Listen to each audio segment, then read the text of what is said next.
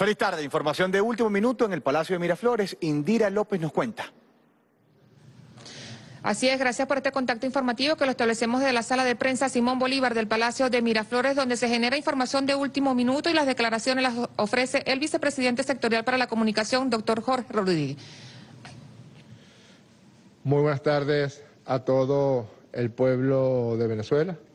Voy a solicitar su permiso para extraerme la mascarilla, el tapaboca que se ha convertido en una herramienta fundamental en el planeta entero en la lucha que toda la humanidad lleva contra la pandemia por COVID-19. Y nosotros estamos obligados en tiempo real a darle a las venezolanas, a los venezolanos, a los medios de comunicación y a la comunidad internacional en general todos los pormenores relacionados con la criminal acción de incursión militar por parte de desertores, de mercenarios y de representantes de las fuerzas especiales de los Estados Unidos de América contra Venezuela el pasado domingo 3 de mayo. Por la intensa gravedad de esos hechos, por la barbarie encerrada en las motivaciones y en la ejecución de esos hechos. Porque además fueron hechos amparados en uno de los eventos que no creemos haya tenido algún tipo de eh, situación similar en la historia de Venezuela. Que Juan Guaidó haya firmado con una empresa estadounidense que provee servicios privados de seguridad que mantiene nexos cercanos, y hoy vamos a seguir mostrando evidencias en ese sentido, que mantiene nexos cercanos con la administración de Donald Trump y con la oficina del vicepresidente Mike Pence, que además sustituye por la vía de la firma de un contrato todos los elementos legales, constitucionales, de derechos y de deberes que están contenidos en la Carta Magna, en la Constitución de la República Bolivariana de Venezuela. El libro de todos, al que todas y todos estamos obligados, queda derogado por la vía de la firma de este contrato. Aunque suena completamente psicótico, aunque suena completamente delirante, que una persona que se haya arrogado en una plaza pública la condición de presidente autoproclamado de Venezuela, pero encierra tal intencionalidad criminal que incluye el cobro de dinero por cada vida que se cobraran estos mercenarios, que incluye el robo de los activos de la República, que incluye la colocación de minas personales, la aplicación de tortura a venezolanas y venezolanos, la eliminación del presidente de la República negro sobre blanco en las letras de este contrato, la eliminación del presidente de la República, sus familiares, sus aliados más cercanos, la eliminación del presidente de la Asamblea Nacional Constituyente, Diosdado Cabello, sus aliados, sus familiares, sus personas más cercanas, la eliminación del ministro de la Defensa, la eliminación del alto mando militar, la eliminación del gabinete ejecutivo y pare usted de contar situaciones más criminales. Pero además es absolutamente imprescindible continuar con la verdad, con las pruebas, desenmascarando a estos representantes del hegemón planetario que creen que pueden, vía los falsos positivos y vía las campañas mediáticas, sustituir la realidad. Aquí vamos a demostrar las mentiras de Iván Duque otra vez. Cuando este señor ha dicho que él hace las cosas de frente y nosotros decimos, usted tiene más cara que espalda, señor Duque. Nosotros hemos demostrado, le hemos dado las coordenadas de dónde se encuentran los campamentos de mercenarios, de paramilitares, de dónde se encontraban en Riohacha los tres campamentos que luego salieron hacia Venezuela para la incursión de desertores, la incursión militar criminal del pasado domingo 3 de mayo. Y además vamos a mostrar un testimonio que demuestra que usted está mintiendo en lo que señala de la lucha contra el narcotráfico en Colombia, que es una tremenda mentira, que es de una hipocresía palmaria.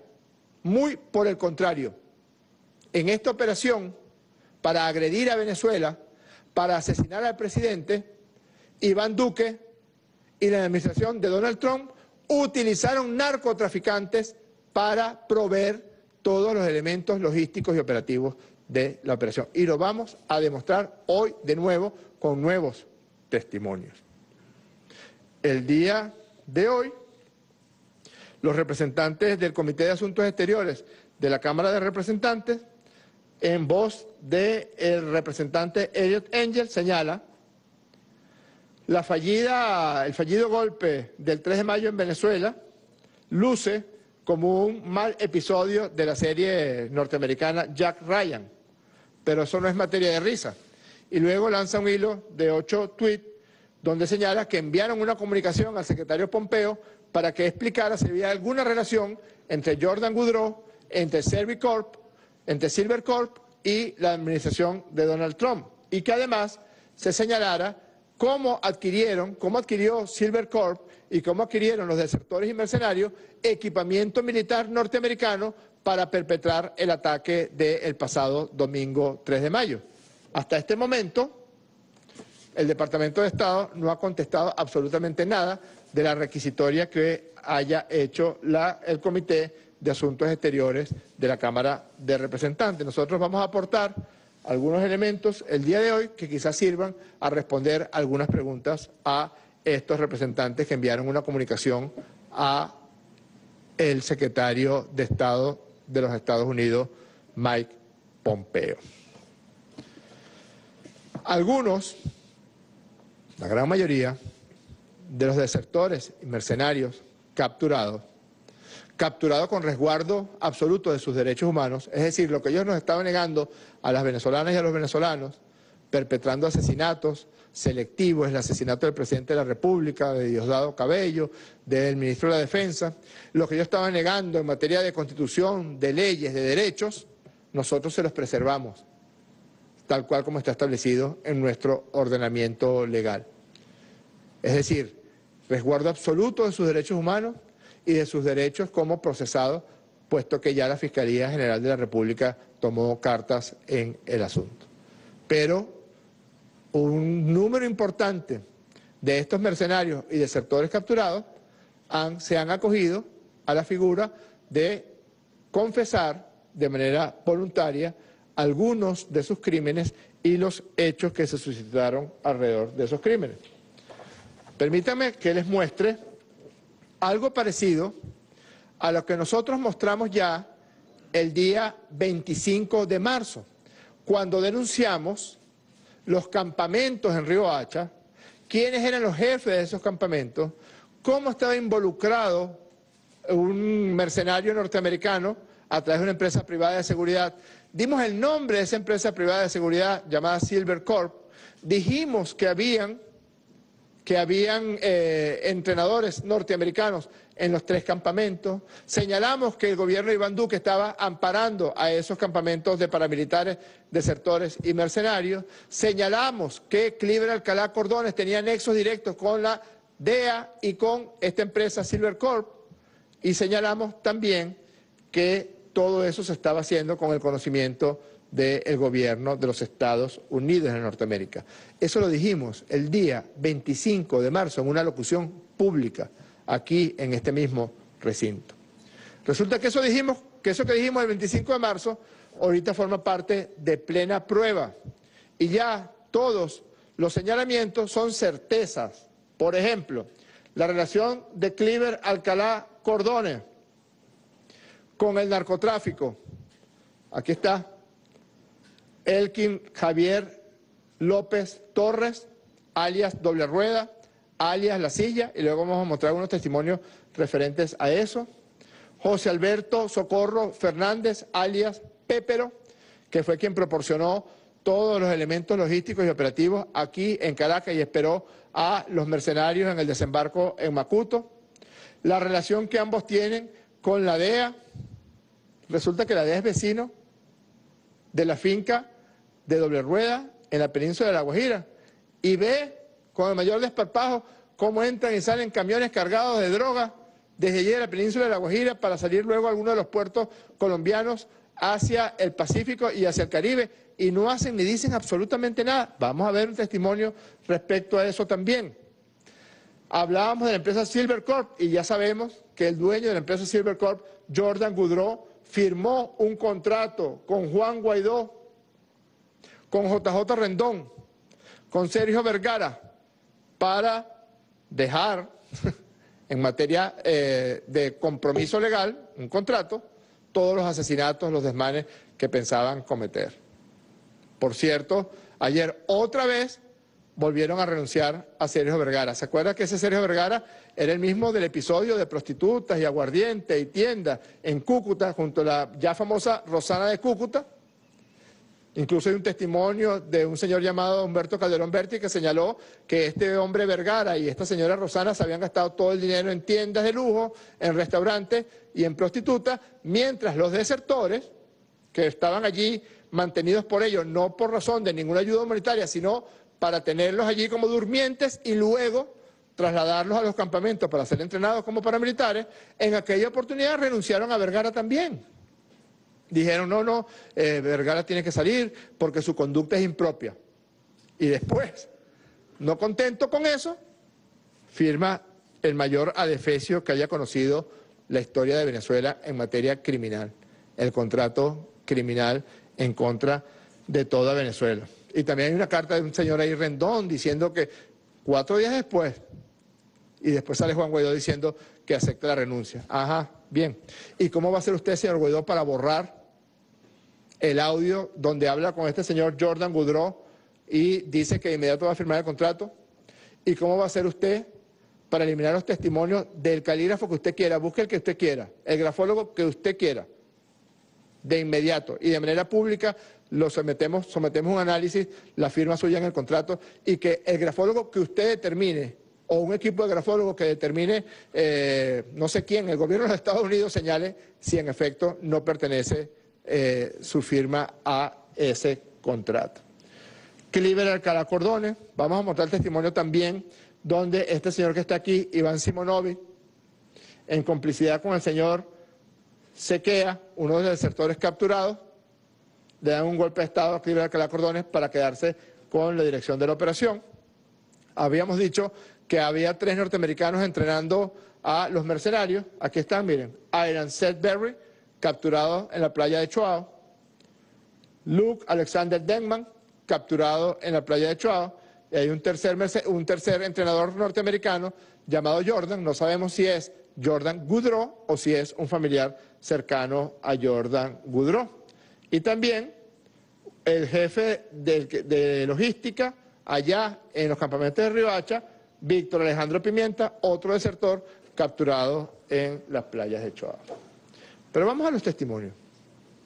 Antonio Sequea, desertor, traidor a la patria, que se robó unas armas del destacamento de la Guardia Nacional en la Asamblea Nacional el pasado 30 de abril, que fue quien sacó de su residencia al prófugo de la justicia Leopoldo López y lo llevó hacia la bufonada del distribuidor Altamira del 30 de abril del 2019, era el jefe operativo de la misión de desembarco criminal en las costas de Macuto el pasado 3, domingo 3 de mayo. Pues bien, Antonio Sequea se somete a la figura de confesión voluntaria y vamos a escuchar parte de su primer testimonio. Adelante, video.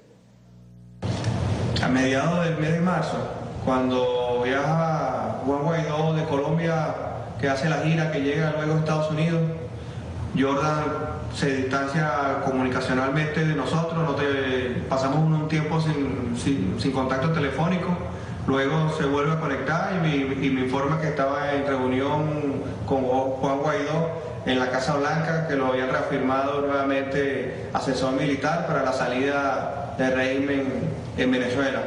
Eh, eso nos daba un poco más de fuerza, nos, daba, nos motivaba a seguir la operación ya que un, año atrás nosotros veíamos a Jordan detrás de la seguridad del, del presidente Trump y luego estaba asesorándonos a nosotros militarmente. Eso nos, daba, nos creaba la sensación de seguridad para seguir avanzando en la operación. Confesión. El 2 de marzo se reúne Iván Duque con Donald Trump. Ahí seguramente hablaron de esta operación en curso.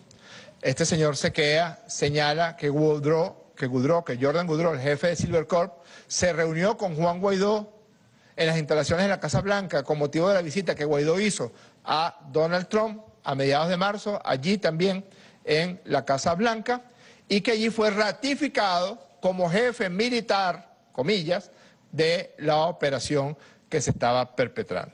Es decir, que esta confesión coincide en todas sus letras con lo que está establecido en este contrato, que en efecto Guaidó había comisionado con el conocimiento de Donald Trump, Mike Pence e Iván Duque como jefe de la acción que se estaba realizando.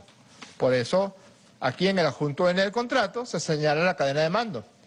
Juan Guaidó, comandante en jefe, supervisor general del proyecto Sergio Vergara, el dos veces renunciado. ¿Alguien le estará calculando las prestaciones a este señor Vergara, que lo han votado dos veces? Estratega jefe Juan José Rendón, comandante en el sitio Jordan Goudreau, por determinar. Ahí le señala él a Sequea, con quien tenía comunicación permanente en su condición de coordinador general de la acción criminal que se perpetró el día 3 de mayo, pues le señala que había sido ratificado por Juan Guaidó como jefe de la acción militar. Luego hay otro testimonio del señor Sequea. Veámoslo, por favor. Con referente al ciudadano Jordan Brown, teníamos comunicación continua, día, tarde, noche, estaba en cuenta de todos los avances, de todos los procedimientos, lo planeado, él nos asesoraba, nosotros eh, cualquier novedad, cualquier situación que se nos complicaba, él nos buscaba la forma de solucionarla, él nos mantenía informados de todos los procedimientos en el sentido de seguridad que fuese a hacer el gobierno de Estados Unidos, por ejemplo, lo, el último información que, lo, que nos notificó fue el movimiento de naval hacia el Caribe, hacia Aruba, Curazao, que iba a ser gobierno de Estados Unidos, y la semana siguiente que él nos no haya notificado, efectivamente se ejecutó tal cual él lo describió. Y eso nos creaba la sensación de seguridad, de que estábamos eh, ciertamente eh, protegidos y él siempre dándonos a entender que confiáramos en él, en su gobierno y en su jefe. Él es presidente de Estados Unidos, Donald Trump, que nosotros eh, dábamos a entender, valga la redundancia, que él estaba en cuenta de todo este procedimiento. Una de las tantas conversaciones con Jordan, él nos notificaba que la operación tenía basamiento legal de acuerdo a un contrato que firmó Guaidó y su empresa, la que representa, Jordan, firmaron ese contrato donde las cláusulas, una de esas era un artículo de la Constitución que parafraseando me envió una imagen, recuerdo ahorita que más o menos decía que todo venezolano tiene el derecho el deber de restablecer la democracia de su país bajo cualquier mecanismo o, circunstancia. Eh, ese, ese contrato fue firmado en Estados Unidos y Jordan nos decía que su gobierno, la seguridad de Estados Unidos estaba al tanto de todo, de todo su procedimiento. Esto que está confesando este señor Sequea responde a algunas de las preguntas que hiciera el Comité de Asuntos Exteriores de la Cámara de Representantes de los Estados Unidos de Norteamérica. Si sabía o no sabía el Departamento de Estado o alguna estructura de la administración de Donald Trump de esta operación en curso coordinada por Juan Guaidó, Jordan Goudreau, Cliver Alcalá Cordones, Iván Simonovis y Antonio Sequea. Según el testimonio de este señor Sequea, en efecto no solamente sabían la administración de Donald Trump, sino que Jordan Goudreau se eh, ufanaba de eh, todas las los contactos y todas las reuniones y todas las conversaciones que sostuvo y que sostenía en la Casa Blanca y que los organismos de seguridad de los Estados Unidos de Norteamérica estaban en conocimiento de toda la operación que se estaba realizando. Incluso le comunica Goudreau a Ezequiel que eh, se iban a dar una serie de movimientos eh, de las fuerzas navales de los Estados Unidos de Norteamérica y un mes después ocurren esos movimientos, como dando a entender que él estaba en conocimiento de todas las operaciones. Y esta es una operación a la que se le da luz verde precisamente con la barbaridad cometida por el Departamento de Justicia de los Estados Unidos de Norteamérica, que se atreve a someter a un presidente constitucional electo, según lo establecido en las normas electorales ilegales de Venezuela, ponerle precio a su cabeza el pasado 26 de marzo. Ese fue la luz verde para la operación de estos mercenarios, el detonante para la operación de estos mercenarios. Porque no solamente estaba el componente criminal de traición a la patria, de deserción y de eh, siembra de angustia, zozobra y muerte en suelo venezolano, no solamente eso, también estaba la avaricia, la ambición, 15 millones de dólares por el presidente Maduro, 10 millones de dólares de bono para Jordan Goudreau si lograban asesinar al presidente y a Diosdado. 14% de todo lo que se lograran robar. Las camionetas y las armas se las podían quedar los mercenarios asaltantes y las riquezas o los bienes que incautaran les correspondían el 14%.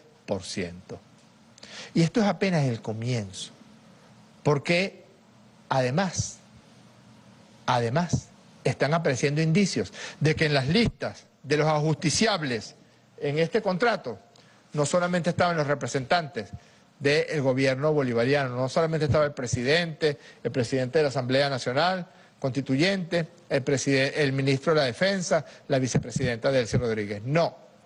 También habían representantes de la oposición venezolana a los que este grupo de extrema derecha, encabezado por Juan Guaidó, veía como un estorbo para el cumplimiento de sus planes. Y eso es cosa de que en pocos días van a presentarse ante la opinión pública.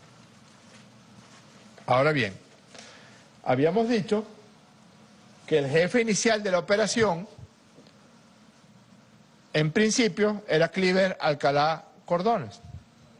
Como Cliver Alcalá Cordones no pudo cumplir con lo que se había comprometido con la DEA, y luego vamos a ver unas cosas más de la DEA, entonces deciden sacarlo del juego, llevárselo a Estados Unidos en una operación de rescate de agentes, no de imputarlo, no, nada de eso. Ese es el, modus operandi de la agencia eh, de antidroga, supuestamente antidroga de los Estados Unidos de Norteamérica. Y colocan a Iván Simonovic como jefe de esa operación. Vamos a ver el testimonio de Antonio Sequea acerca de la participación de Iván Simonovic en estos hechos. Adelante, testimonio. En el mes de febrero o marzo aproximadamente, me enteré que un ciudadano de nacionalidad venezolana llamado Ainer Giuliani estaba buscando mi número telefónico. Tres, cuatro días después, recibo una llamada de un número desconocido, una persona presentándose como el comisionado de Seguridad e Inteligencia del gobierno de Guaidó, de nombre Iván Simonovi, cual me pedía que le reportara cualquier situación, novedades, operación en curso eh, referente a Venezuela. Eh, hasta ahí quedó la llamada, nos despedimos. Luego, 15, 20 días después, recibo una próxima llamada donde él me pide novedades de una operación que él está en cuenta. Eh, le digo que más o menos que todos estamos en la lucha. Él me dice que si tuviese la oportunidad de estar en el terreno, él lo estaría, pero por, por sus limitaciones no podía y tenía que dominar muchas cosas por teléfono. Le planteé más o menos eh, algo general de, lo que se podía hacer para, Venezuela. Nos cortamos las llamadas, quedé que le iba a reportar todo, pero no fue así. luego, días después, me manda un link donde sale la foto con el presidente Donald Trump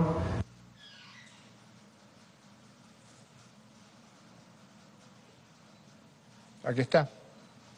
Es decir, es en marzo que la Casa Blanca activa esta acción contra Venezuela. Ya había ocurrido la reunión entre Donald Trump y Juan Guaidó, ya había ocurrido la reunión entre Iván Duque y Donald Trump, Iván Duque seguramente informó de estas operaciones que estaban transcurriendo en territorio colombiano. Se da la luz verde, el visto bueno para que sea Iván Simonovi el que coordine.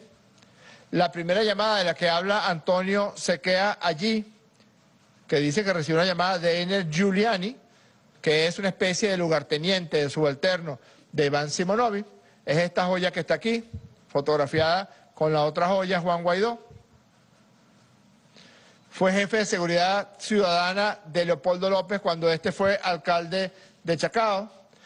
En el 2013 fue subdirector de Polichacao.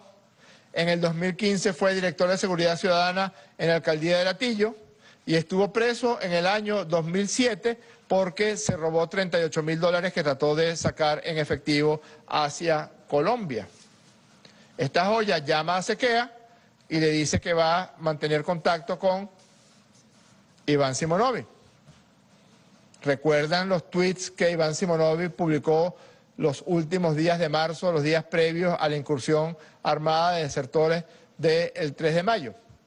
Eran tweets que trataban de sembrar falsos testimonios, falsos positivos, que estaban en conocimiento de la acción de distracción que intentaron montar en Petare, en esta localidad de eh, la ciudad de Caracas, de unos supuestos bloqueos a la autopista Caracas-Agüera que nunca ocurrieron sino en su imaginación. Es decir, Simonovic estaba haciendo su tarea como jefe operativo encomendado por Donald Trump.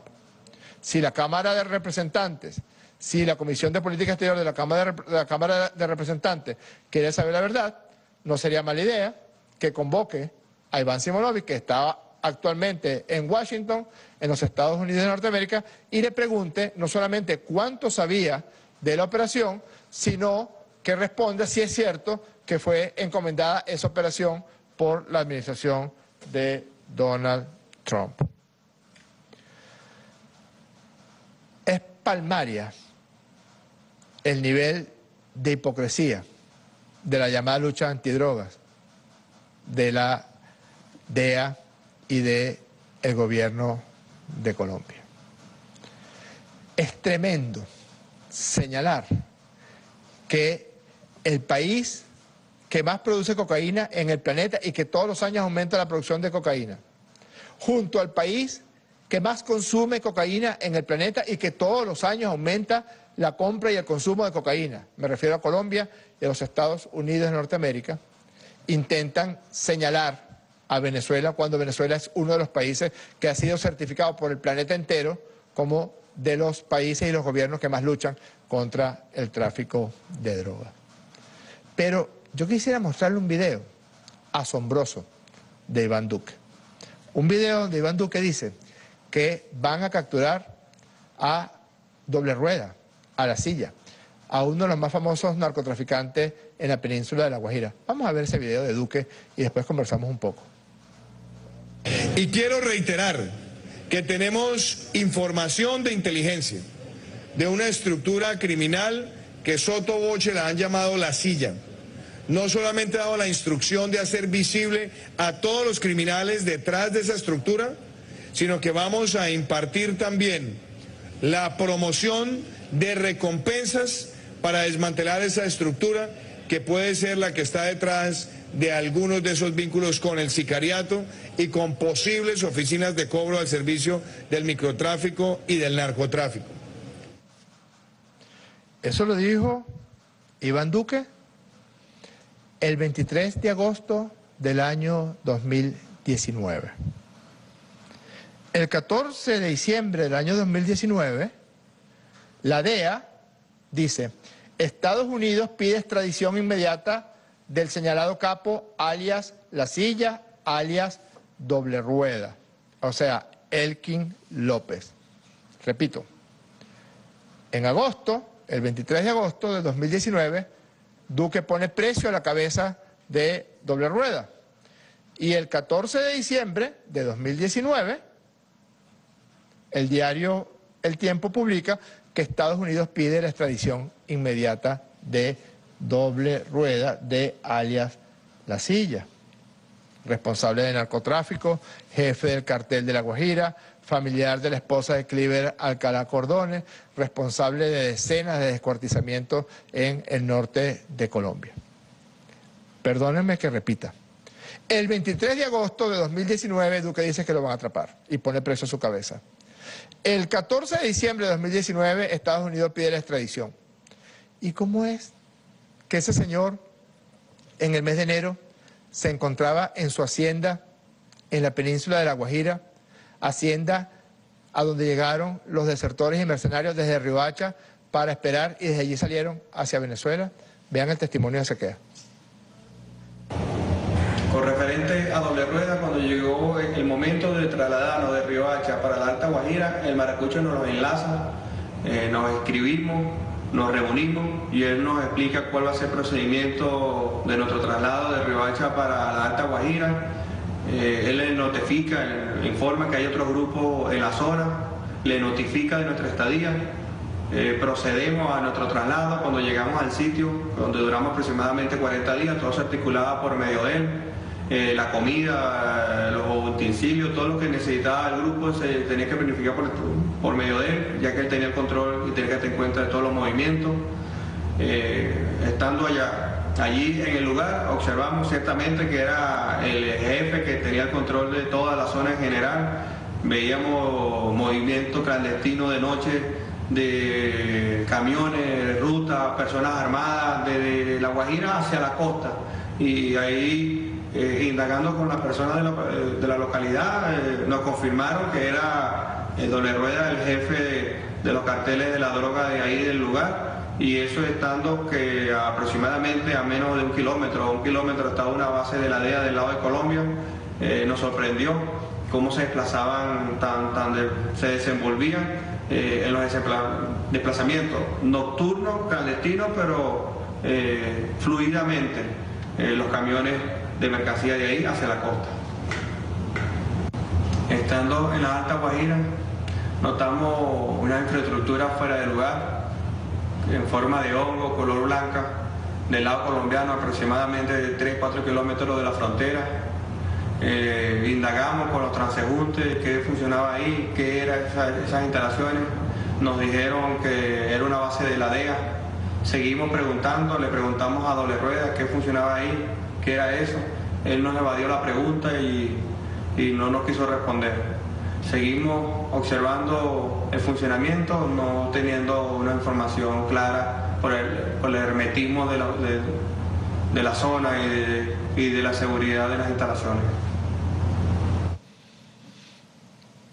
Pura hipocresía, Iván Duque.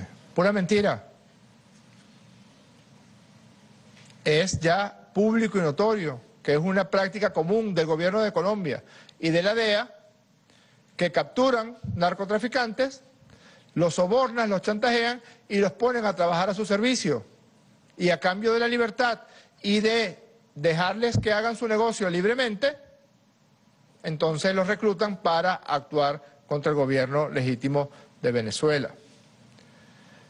Aquí está doble rueda, que estaba tranquilamente todo este año 2020 en su finca en la península de La Guajira. Yo me pregunto, ¿quién lo dejó en libertad?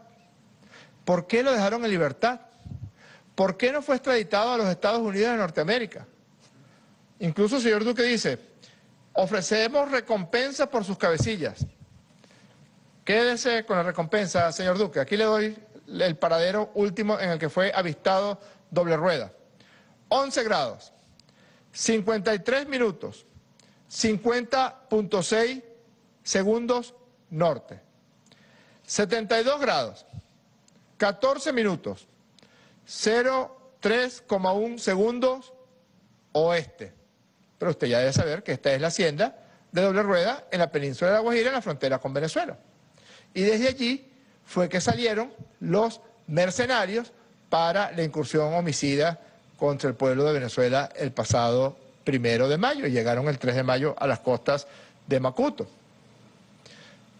Sequea dice allí que veían cómo pasaban libremente los camiones cargados de cocaína hacia distintos puertos del norte colombiano. ¿Usted no sabía eso, señor Duque? Sequea dice allí que el vecino más cercano de la finca Doble Rueda era una central de la DEA y que esa central de la DEA, que estaba allí, pues sabía de las actividades normales, comillas, de doble rueda en su eh, desenvolvimiento libre para ejercer el narcotráfico en Colombia, el jefe de uno de los carteles de la península de La Guajira. Ofrece recompensa. Bueno, búsquelo. 11 grados 53 minutos 50,6 segundos norte, 72 grados 14 minutos 03,1 segundos oeste.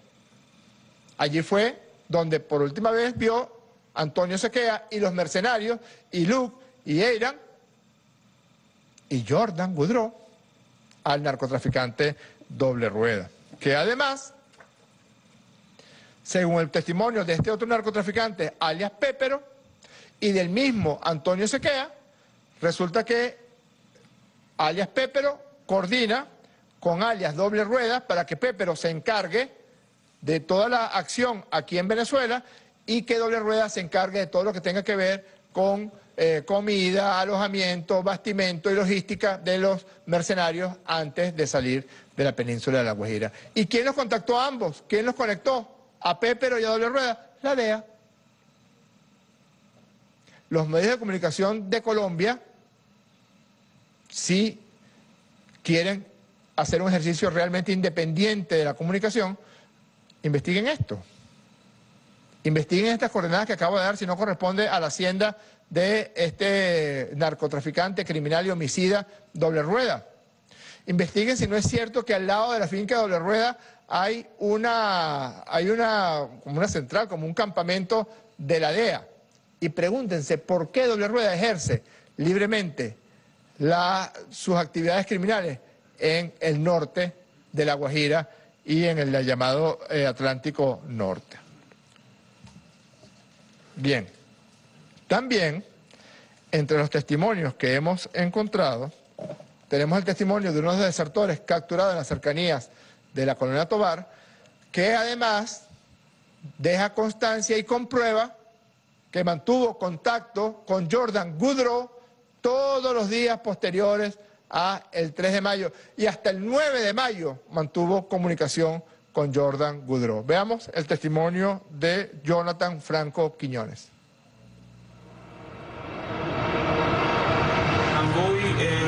integrante de las empresas Silvercom.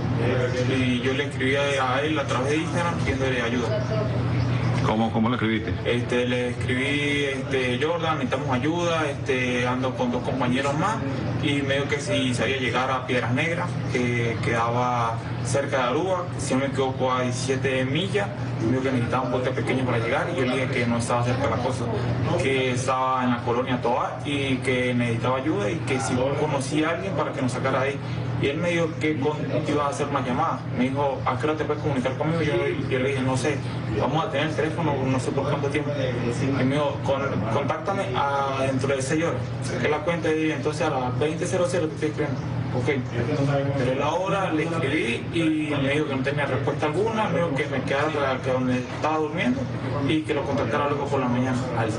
Al, día siguiente lo contacté y no, no me respondió.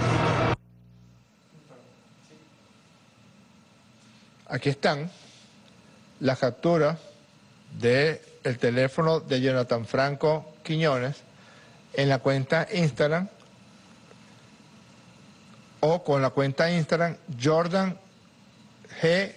Guy, que es la cuenta de Jordan Goudreau, que era eh, seguida por este desertor desde los tiempos en que estaba entrenándose en Río Hacha. Suponemos que se les dio la orden de que siguieran esa cuenta para poder enviarles órdenes, informaciones a través de ella.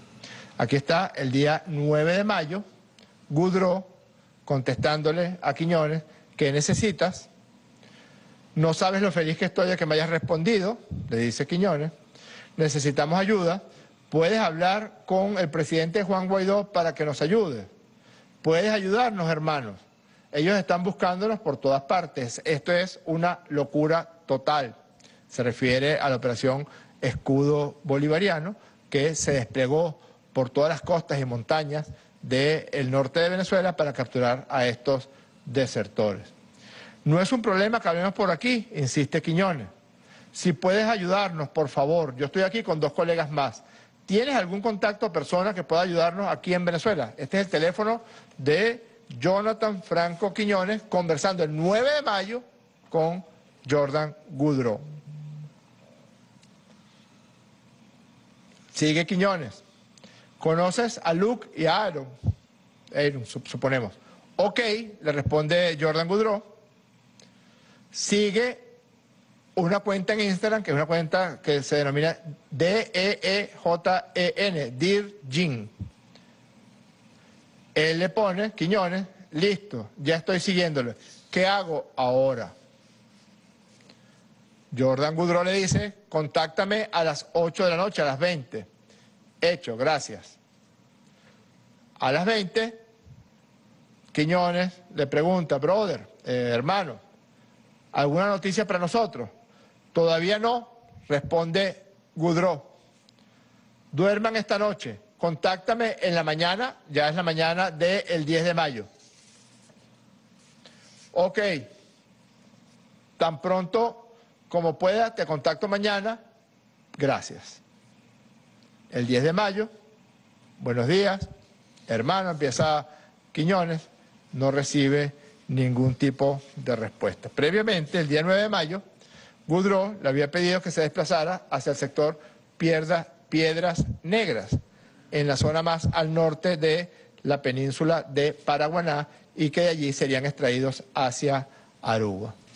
Con este audio queda plenamente demostrada la relación de Jordan Goudreau y la coordinación que tenía de todas esas acciones. Ya se había demostrado con la entrevista, la entrevista que le ofreciera a la periodista Patricia Polero. Ya queda demostrado con el audio que él mismo mostró de eh, su conversación por videollamada con Juan Guaidó y la firma que se dio de ese contrato. Queda plenamente demostrado con la firma que hizo Jordan Goudreau con estos representantes de la extrema derecha venezolana de los anexos del contrato criminal y asesino. Queda plenamente demostrado por las eh, imprecaciones que hiciera Goudreau a JJ Rendón, porque además o sea, tuvieron la desfachatez de tratar de estafar a un equipo de empresas mercenarios privadas.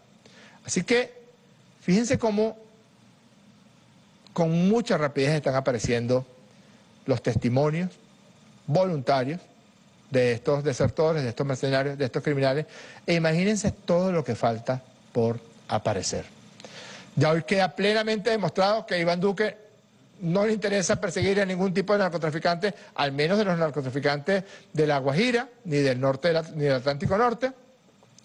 Queda eh, plenamente demostrado que eh, a la DEA tampoco le importa que Doble Rueda trafique con drogas en el norte de Colombia y en la península de La Guajira. Queda plenamente demostrada la relación que tiene Jordan Goudreau con la administración de Donald Trump y con la oficina del vicepresidente Mike Pompeo. Queda plenamente demostrada la relación entre Iván Simonovic y esta eh, intentona, esta incursión armada contra Venezuela y queda plenamente demostrado, ha sido señalada Saquea varias veces, que Juan Guaidó no solamente estaba en conocimiento y seguimiento de esta operación, sino que mandó a sus dos principales y más cercanos asesores, que son JJ Rendón y Sergio Vergara, a que llevaran adelante todo el proceso de eh, prosecución de este evento, sino que él dio la orden de que se desarrollara lo que puede considerarse la más atroz acción en contra de la paz de Venezuela, la incursión armada de mercenarios y desertores en las costas de Macuto el pasado domingo 3 de mayo. Y esto es poco para lo que viene en materia de información. Buenas tardes. Escuchamos al vicepresidente sectorial para la comunicación, cultura y turismo, doctor Jorge Rodríguez. Revelaba nuevos detalles de la trama golpista sostenida desde el gobierno de los Estados Unidos y de Colombia para desestabilizar la paz en Venezuela. Todo esto bajo el manto que de este contrato supra, de carácter supranacional que habría firmado entonces Juan Guaidó con esta empresa norteamericana de seguridad para desestabilizar a nuestro país. Escuchábamos además testimonios de las personas que fueron detenidas por la incursión militar en en aguas venezolanas el pasado 3 de mayo y que no solamente develaban el plan golpista, extremista y magnicida, sino también a sus jefes políticos y la participación de la DEA. Venezuela se mantiene alerta para garantizar la paz y la soberanía del país con la misión negro primero eh, dando también cuenta de todo lo que ha sido esta persecución en caliente para dar con todos estos eh, actores extremistas que buscan dar entonces este eh, golpe al eh, pueblo de Venezuela, pero Venezuela se mantiene también alerta ante estas acciones. Devolvemos con esta información el pase al estudio. Adelante.